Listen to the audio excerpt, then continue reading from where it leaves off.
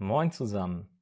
Heute soll der Quartvorhalt im Allgemeinen und seine Verwendung an drei Beispielen im barocken Choralsatz bei Johann Sebastian Bach betrachtet werden, inklusive einer Sache, die mich zunächst stutzen ließ, die vielleicht aber auch ganz normal ist. An Vorhalten sind nach der meines Erachtens gängigsten Definition drei Positionen beteiligt, die sogenannte Vorbereitung, in der der im folgenden Akkord dissonante Ton eben der Vorhalt in derselben Stimme gebracht wird. Darauf folgt der Klang mit dem Vorhalt, der in einem Akkord meistens einen eigentlichen Ton eben vorenthält. In der Regel liegt dieser Ton eine Sekunde über dem eigentlich gemeinten Ton.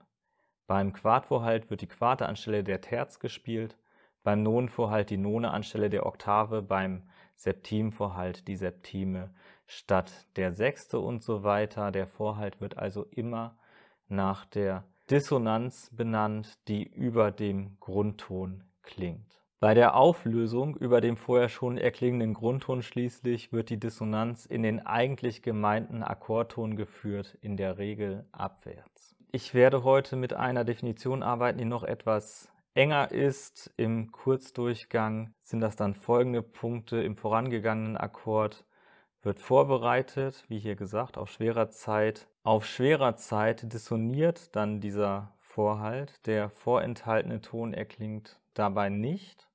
Die Auflösung erfolgt im Sekundschritt abwärts über gleichem Grundton, wie wir es schon gehabt haben. Es sei aber angemerkt, ähm, dass es Theoretiker gibt, die diese Definition ausweiten, sodass äh, es für Vorhalte keine Vorbereitung braucht, dass ähm, dieser über Sekundschritte meinetwegen erreicht wird. Das wäre bei mir dann ein ähm, schwerer Durchgang oder ein halbschwerer Durchgang, je nachdem, wo der Metre steht. Dann ähm, gibt es Vorhaltsdefinitionen, äh, wo der vorenthaltene Ton gleichzeitig erklingen kann äh, und äh, welche, wo auch Vorhalte aufwärts geführt äh, werden können und so weiter. Das, was ähm, hier jetzt äh, steht, beziehungsweise von mir noch ergänzt wurde, ist die ähm, Definition, die mir an den allermeisten Stellen allerdings ähm, begegnet ist, auch in dieser Enge. Exemplarisch arbeiten wir heute mit dem Quartvorhalt. Hier eine schematische Darstellung. Ich spiele es einmal vor.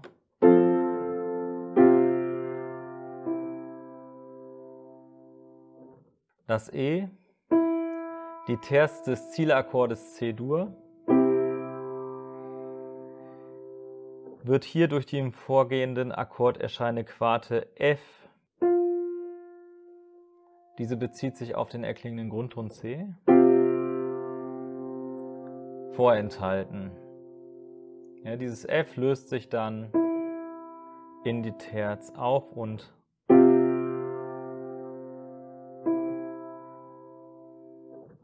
ähm, diese Auflösung ist, denke ich, bei den meisten von euch in der Hörerwartung auch schon abgespeichert, sage ich mal. Die Vorbereitung, die Dissonanz und die Auflösung müssen, ähm, das ist auch noch wichtig, in derselben Stimme erfolgen. Hier geschieht das alles im Alt. Entsprechend muss dieses F, was wir als Dissonanz äh, haben, auch im vorhergehenden Akkord auftauchen, in derselben Stimme vorbereitet werden. Also, und das geschieht hier in dem F-Dur, was im ersten Akkord erklingt.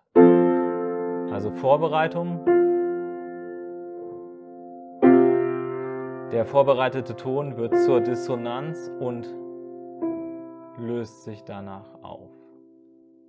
Der vorhergehende Akkord müsste in diesem Fall übrigens nicht äh, F-Dur sein, das könnte auch äh, D-Moll sein, es könnte auch eine Septime in G-Dur sein.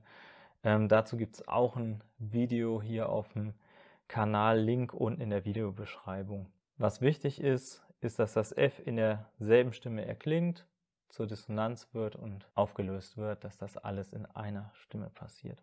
In dieser Reihenform kommt der Quartvorhalt auch im Bachschen Choralsatz vor, etwa in der Nummer 25 der Richterausgabe. Hören wir es uns mal an.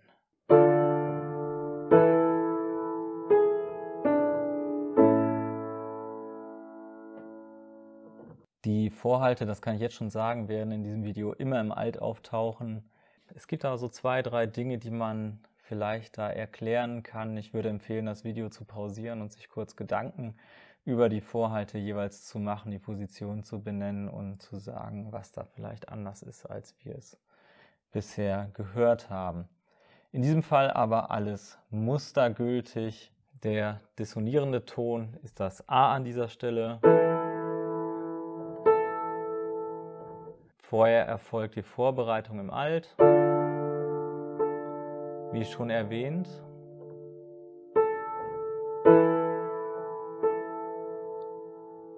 Und dann die Auflösung in dieser Stimme, der Septimdurchgang, mit dem das Ganze hier in der ähm, Kadenzsituation, in diesem Fall der Schlusskadenz, verbunden wird.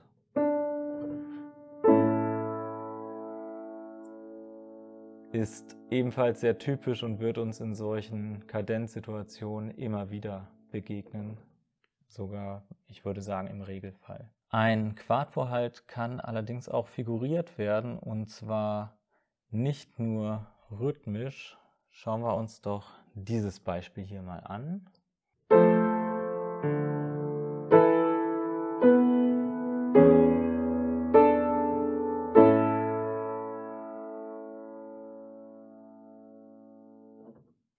Ist wiederum das A, der dissonierende Ton an dieser Stelle. Wird vorbereitet im Alt.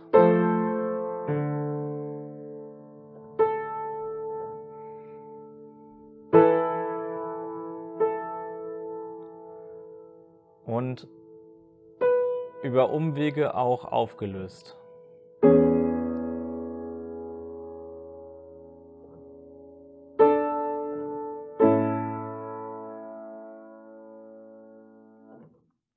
Da ist figurativ noch einiges andere los. Das vorletzte A im Sopran ist eine Antizipation und im Tenor gibt es diesen halbschweren Durchgang äh, dissonierender Art über das Cis zum D der Septime des E-Dur-Akkordes. Ja, aber was meines Erachtens wirklich ins Auge fällt, ist dieses,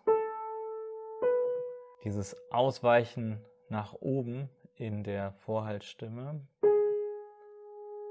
ähm, was die Auflösung in die Konsonanz, das Gis, die Terz, verzögert. Meines Erachtens kann man diese Figuration als obere Wechselnote auffassen, dass das hier eigentlich gemeint ist, aber dass man anstelle zurückzukehren zu dem Ausgangston direkt in die Auflösung hineinspringt. Das ist also auch möglich bei der Behandlung des Quartvorhaltes, dass man die Auflösung in dieser Form verzögert. Dass alle anderen Stimmen, sage ich mal, figuriert werden können und dass unser Quartvorhalt dann nicht mehr so klar vor Ohren vielleicht steht, wie in dieser Reihenform, die ich zuvor vorgestellt habe.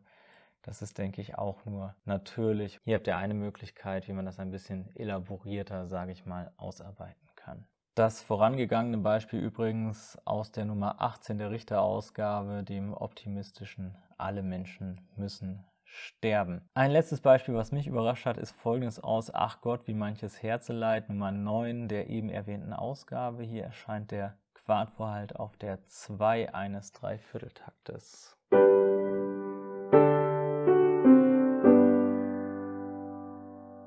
Ähm, bis vor ein paar Tagen waren mir lediglich Beispiele bekannt, die diesen Vorhalt im Dreivierteltakt auf die 1, also die absolut ganz und gar schwere Zeit des Dreivierteltakts setzen. Und ich behaupte auch, dass im Viervierteltakt lediglich die Zählzeiten 1 und 3 für den Quartvorhalt in dieser Form in Frage kommen, lasse mich aber gerne eines Besseren belehren. Hier halte ich zwei Erklärungsansätze für diese metrische Position des Quartvorhalts für plausibel. Also entweder scheint die 2 im Dreivierteltakt ebenfalls als schwere Zeit interpretiert werden zu können. Das heißt, wir hätten hier zwei aufeinander folgende schwere Zeiten und dementsprechend könnte man dann auch hier eben diese metrisch schweren ähm, Vorhalte setzen. Oder aber, das wäre eine zweite Interpretation, dass wir ähm, im Quartvorhalt einen gewissen metrischen Zug haben, der sich auf die nächste schwere Zeit ausrichtet und dass er dann hier quasi floskelhaft von der ähm, 1 auf die kadenziert wird, ähm, ausgerichtet wird. Dass wir sagen, hier müssen wir hin,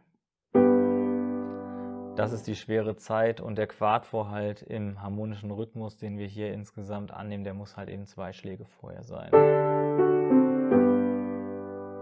Was mich anbetrifft, wieder was gelernt, als ich Stellen rausgesucht habe. Vielleicht nimmt der ein oder andere hier auch was mit, würde mich freuen. Ansonsten wünsche ich einen schönen Tag. Ähm, über ein Like oder ein Abo würde ich mich natürlich auch freuen. Und weiterführende Anmerkungen und Fragen gerne in die Kommentare. Macht's gut und ciao.